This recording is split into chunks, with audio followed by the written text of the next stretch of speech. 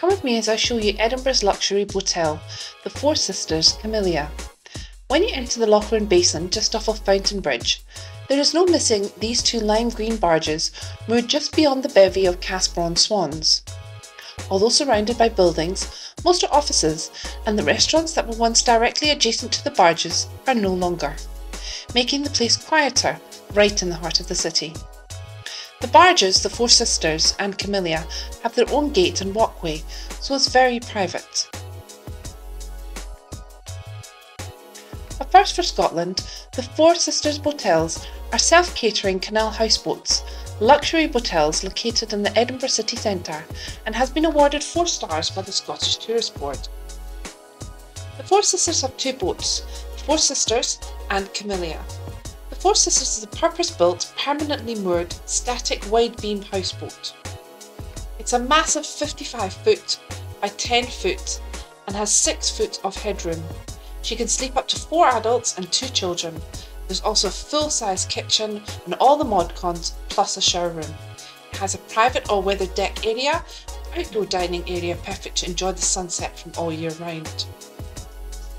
The newest addition to the Four Sisters family, the Camellia, and the one we stayed in, boasts three bedrooms sleeping up to eight adults, from three private two-bed cabins and double sofa bed in the lounge area.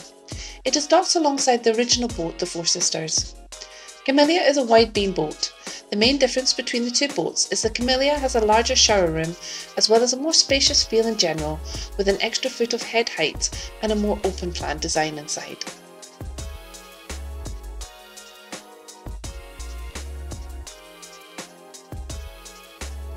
On entering Camellia, you enter into the kitchen galley come lounge. We were greeted with a wonderful breakfast hamper and a bottle of Prosecco. You can order various hampers via the Four Sisters website upon booking. There was porridge oats, yogurt and granola pots. There was some jam, bananas, butter, Tunnock's tea cakes, breakfast croissants, and of course, the piece de resistance for me was the cinnamon swirls. The entire interior is decorated to high standard, with the colour theme of yellow and green running throughout the barge, giving it a warmth and a feel of easy flow from one room to the next. It is a fully kitted out and well equipped kitchen with a gas hob, oven, microwave, and fridge. Wi Fi is available throughout with 4G signal strong too. You can log on to Amazon and Netflix on all of the TVs. Everything is really easy to connect to, even Alexa listens to your commands.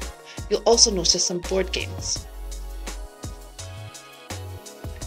There are some homely touches such as cosy tartan blankets, bottled water and coffee table books on exploring Edinburgh. Camellia can sleep up to 8 people. In the lounge there's a double sleeper sofa and then we head next door into bedroom 1. This is where we have two adult bunk beds. But very comfortable.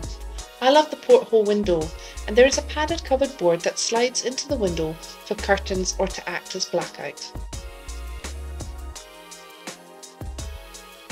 On to bedroom number two, with the double bed, which is quite high but again very comfortable. This room has a small TV and two robes to get comfy in. There's bottled water and a hairdryer, etc. available here.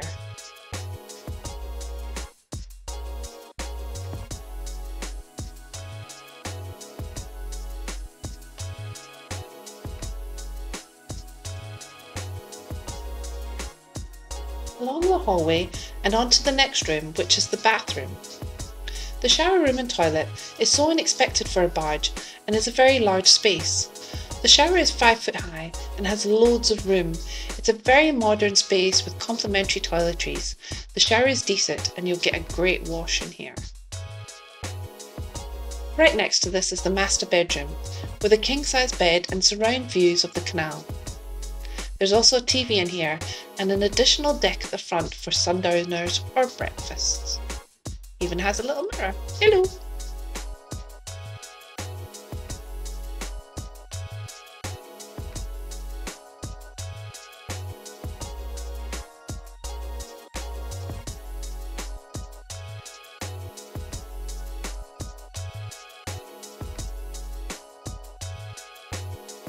Besides watching TV, there is some life on the canal to watch too. Obviously some ducks. And a wee canoe paddle for somebody. We chose to use this wee staycation as a date night and opted for a wee bottle of Prosecco for me and some whiskey for him, hot dogs and a night in front of the telly watching Netflix as we snuggled under the tartan blanket. It was bloody perfect.